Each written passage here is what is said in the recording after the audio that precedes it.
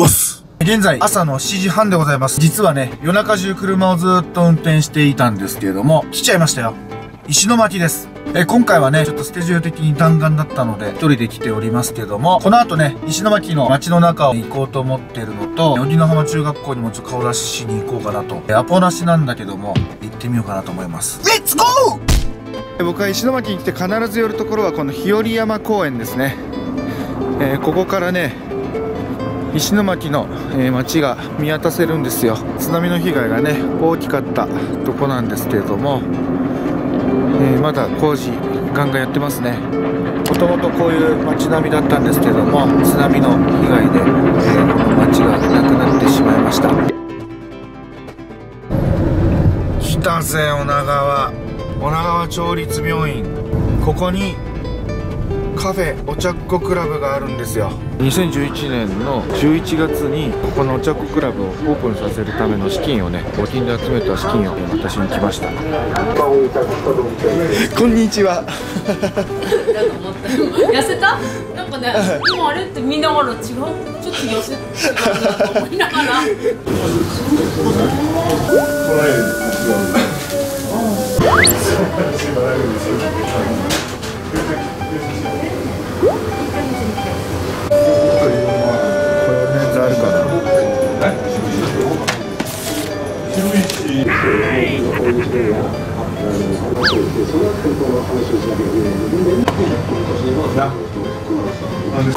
と思いながら女川町はね割と復興が早い地域なんですけども今もまだねやっぱりこう工事の音がすごいですね。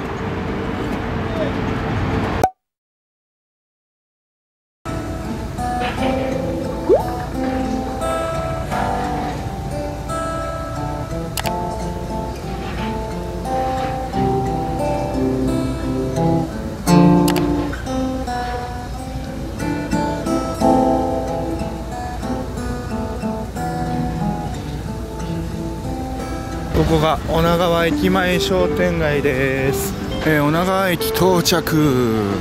ちょっと上に行ってみようかな。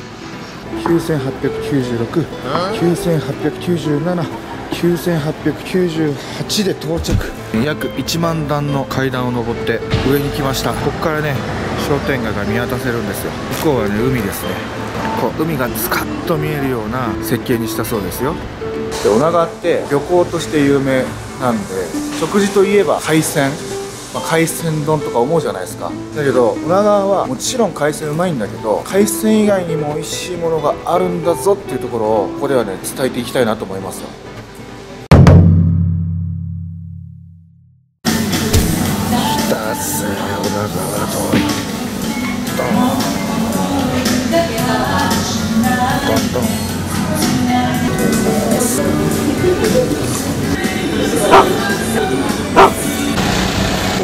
パンだ。震災当時はね山崎パンのね支援がすごく熱くてねみんな助かったみたいですよ。山崎春のパン太りになったっていう。ところであの外人は今何歳になってんだろうな。来たぜおりここが荻野中学校のグラウンドです。広いよね。かなり。で向こうにあるのが体育館でプールもあって、えー、校舎があると。でグラウンドのすぐ横が海ですね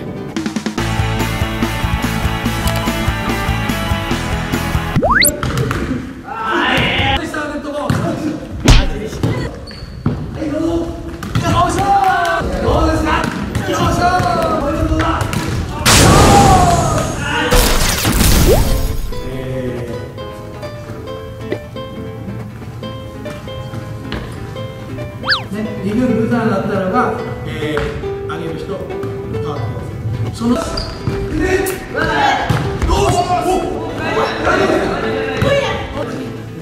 先生の感想を言ってもらって終了にしたいと思います。唯一お疲れ様でした。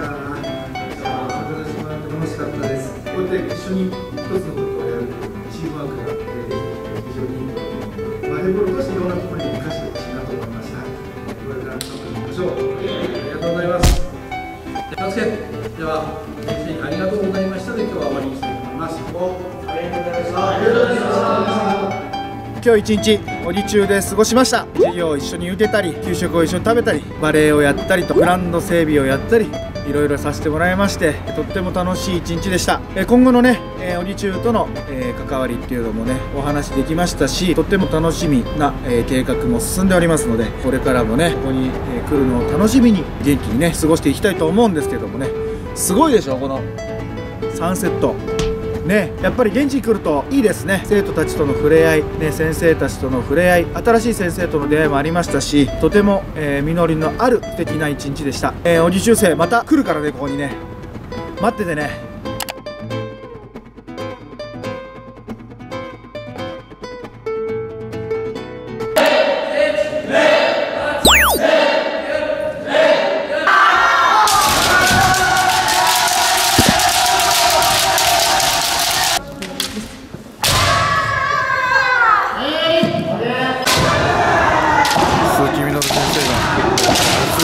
しております。